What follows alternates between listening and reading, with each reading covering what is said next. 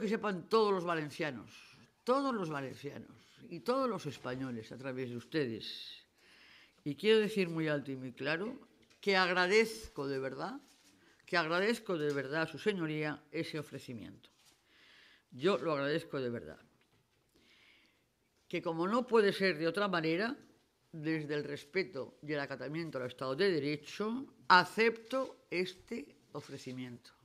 La verdad, eh, como dije en la anterior comparecencia, es que no he contribuido a ningún blanqueo de dinero, que no he ordenado nunca ningún blanqueo de dinero, que no he conocido nunca si ha habido blanqueo de dinero ni en el grupo municipal ni en ninguna otra parte, que no he tenido el menor conocimiento de Caja B ni en el grupo municipal ni en el partido, y que la entonces alcaldesa no ha tenido nunca una Caja B ni ha dado dinero, ni he dado dinero negro a nadie porque ningún dinero negro proviene de mí.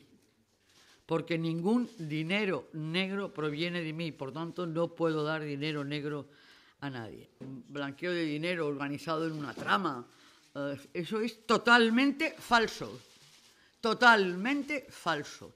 Y lo diré aquí ante el juez, ahora y cuando haga falta de compromiso, pues mire, eh, señor Ribo, ¿cuánto tiempo lleva? Unos meses, ¿no? A los dos meses ya, ya, tiene ya ha cometido un problema y está en la fiscalía y ya se saldrá, lo que sea.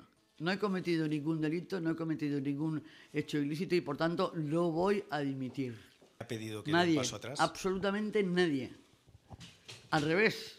Ayer creo mm, que se le preguntó a la secretaria general, pero vaya a ser, claro, pues es senadora. Yo no pongo en duda ni dejo de poner nada.